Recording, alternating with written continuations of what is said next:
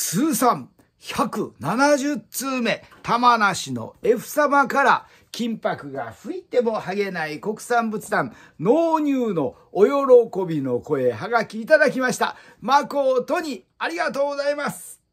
金箔が吹いても剥げない国産仏壇。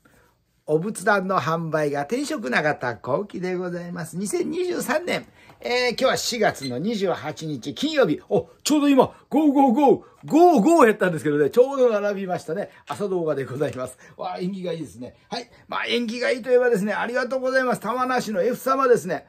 あの、納入、国産仏壇納入、お喜びの声、はがき、通算、ちょうど霧のいい170通目。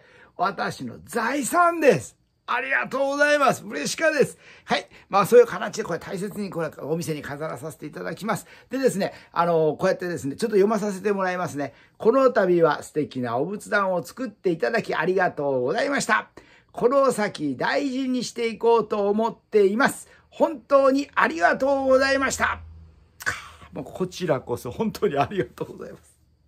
もう身に余るお言葉ありがとうございます。綺麗に収まりました。ご新築のお宅。ご新築ですね。お仏間に合わせてちょっと背を高くしております。幅もちょっと広かったですね、よそよりもですね。これ合わせてですね、まあ、こちらの国産仏壇。これはオーダーメイド対応ができますので、お客様の仏間にですね、まあ、あの合わせることができております。ですからこういう形でですね、これはあのうちのホームページの納入事例なんですけどね、こういう形でたくさんのお宅に納入させていただく。こちらが F 様かな。こちらが F 様でたくさんいろいろお食べさせてもらっております。ありがたいです。もう本当にありがたいです。で、えー、このお仏壇ですね、あの、令和の名工大坂四兄弟輪島漆器の技術を生かしてですね、通産大臣認定の伝統工芸士、素晴らしい職人様が真心を込めて作ります。もう私は日本一の仏壇だと思っております。で、このお仏壇、それとですね、仏壇だけじゃないんですね、仏具一式。あの、仏壇は大坂さんですね。仏具は富山県の本坊さん、京漬けは秋田の戸部さん、座布団は福岡の日天大王さん。